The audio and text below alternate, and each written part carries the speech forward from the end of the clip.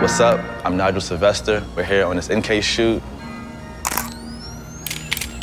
And I'm gonna take you through a few of my travel essentials. So, first thing first, we have my most prized possession, my bicycle. And this thing seriously travels with me everywhere. I've seen the world with it. I've been able to navigate through life because of my connection with my bicycle. My first love and my passion. We got the EO hard case roller. Um, this thing is super durable, super smooth wheels. Um, you can take it on the plane with you so you don't have to check it in. It's perfect for a two or three day trip.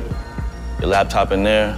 Got space for my hats down here, my iPod, my phone, my bike tools. This thing has everything I need. Incase power pack. Man, this is one of my favorite pieces in the whole collection.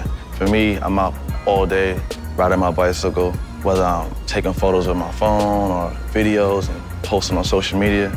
Sometimes your phone dies. This thing right here can charge that, plus all your other devices. It's definitely something I use every day. I feel like the hat someone wears is a representation of how they feel. And um, so what better way than to represent me and my movement in BMX? It's paradise. So you can't leave home without these. Gotta make sure you're fresh.